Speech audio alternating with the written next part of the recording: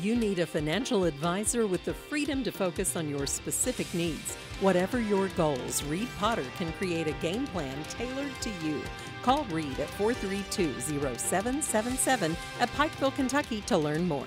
The Levisa Fork River will soon be undergoing a large scale cleanup project thanks to the efforts of Pikeville Tourism. The project will focus on the high number of discarded tires currently sitting in the river, which is estimated to be more than 2,500 along the 8 mile waterway. Pikeville Director of Outdoor Recreation Patrick Collins talks more about the condition of the river and what can be done. We wanted to go out and just assess the river and see what kind of shape it was in to promote from a tourism perspective. And, uh, you know, we knew there was a lot of tires in the river. You know, we knew it was bad um, from everything that we've been told. Um, but once you get out there and see it firsthand, you kind of really realize how bad it is.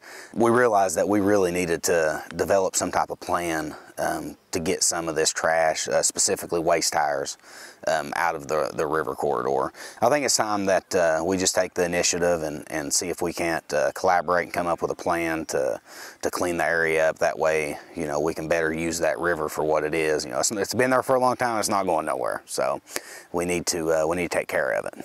Instead of using heavy machinery to remove the tires in large amounts, Collins' solution is pool noodles and manpower. This cleanup method will be used on Saturday, August 26th, when the community will be invited to help. We thought, well, maybe, you know, we could take some type of you know, foam or, or, pool noodle is initially what we kind of uh, um, uh, decided on. Maybe we can just line the interior uh, portion of that tire with a noodle and maybe that'll be buoyant enough to float it.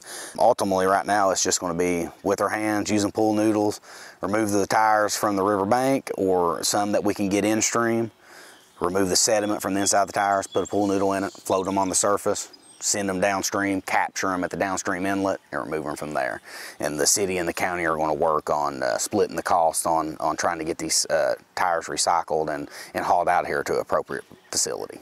Reporting for Mountaintop News, I'm Nick Collum.